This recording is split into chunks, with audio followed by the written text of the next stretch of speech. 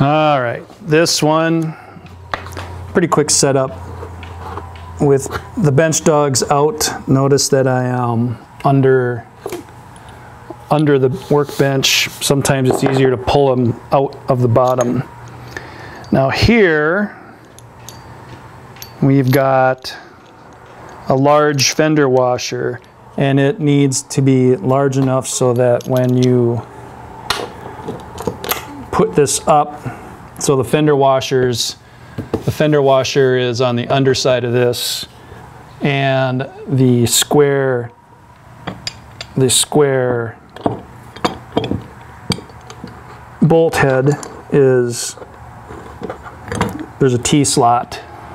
There's a T-slot in there and the bolt head fits right into that T-slot.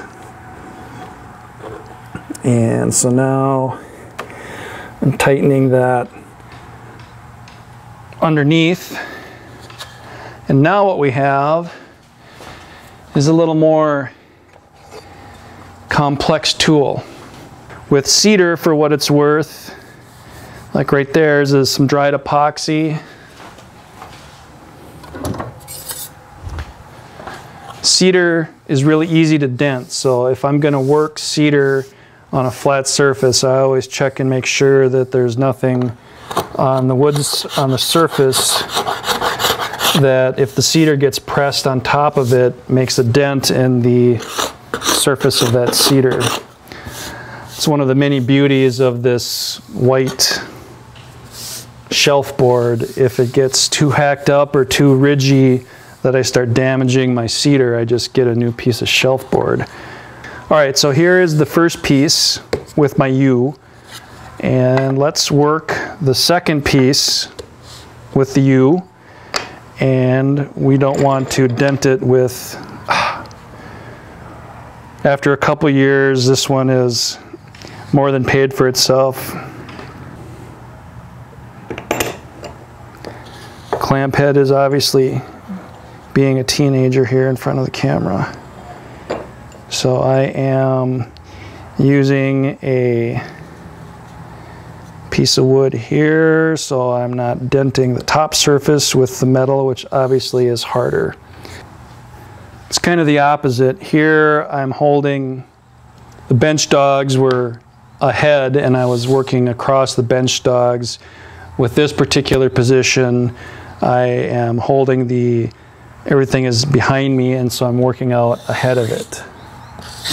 But point is, I've got my hands free and the plane is now giving me nice paper thin, almost see-through shavings and I am free to work my wood as I see fit. So it, for me, is a close call between the utility and ease of use of this hold down and the utility of a good set of bench dogs. They're both good. I've got them both, as well as a bunch more of plastic bench dogs that fit in the same hole that I can use to brace uh, even more. This is, well, I want to say 10 bucks. Maybe Harbor Freight has them. I have some in stock, especially if this is of interest to you paddle makers and you can't find them locally. Um, if you are interested in a kit, this is something that I can add into, into the kit so that the bench dogs and the hold down both arrive um, with, with the kit. Just remember that you mark gently both surfaces so that as you go about your business shaping and planing, you are working consistent faces. So when the time comes to mate these with their Chubster shaft, you see that uh, you worked, you work. there's nothing worse than putting time on the power face on one and the back face of the other, and you get all the way to the part where you want to join them, you're all excited, and you realize you, you've mismatched your blades.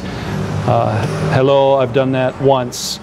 And after that, I made sure to make my pencil marks lightly so I'm not denting with the pencil, but it's a lot easier than having to deal with the frustration of mismatched blades.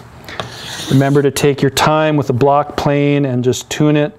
The easiest way I've found is to take a run feel and listen. If and if there's a lot of resistance, you know, a, a plane should be fairly easy. It shouldn't be a, a two-handed grunt. It should be a one-handed, fairly easy to do.